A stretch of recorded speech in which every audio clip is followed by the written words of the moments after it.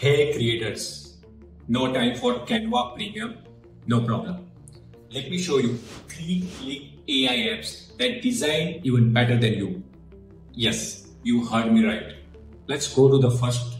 Head over to storyai.com and select your business or personal profile. Just give the AI some info like your website, logo, primary color, and tagline. And boom, you are done. AI fetches info from your website and creates a branding guide for your business. I tried it for my tool, Tweefit. Let's see. And wow, it even nailed vision and mission for Tweefit. I'm mind blown. Now let's create some social media post. Just give the AI a message to share, features to highlight, and call to action. That's it.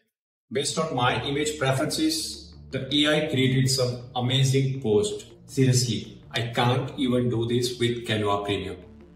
I'm impressed. Now let's check out this review. Head over to mymarky.ai. AI asks you almost the same info and creates a brand guide right away.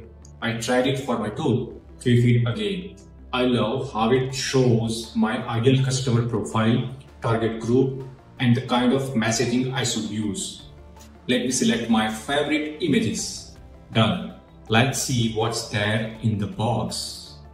Wow, so many awesome posts are ready, complete with captions and CTA. My goodness, what else do I need in my life? Now let me connect it with my Twitter account and see if I can schedule. Oh, this is so easy. It even selected 10 a.m. for my post and which is exactly when I usually post on my Twitter. How does it know? Anyway, I like this tool. It's free, it's easy to use, I'm settled. Now let's go to my third and favorite tool, Content Fit. You know how it helps me? Whenever I like a blog or article, I transform them into short form pieces like tweets or LinkedIn captions right away using this simple button. Let me show you. So if you click on this button, it opens the sidebar. Then I extract the info, choose style and type, and boom, my short content is ready. Isn't it crazy? Yes, I keep doing all the time and my content wall is filled with a lot of awesome content all the time. I love it.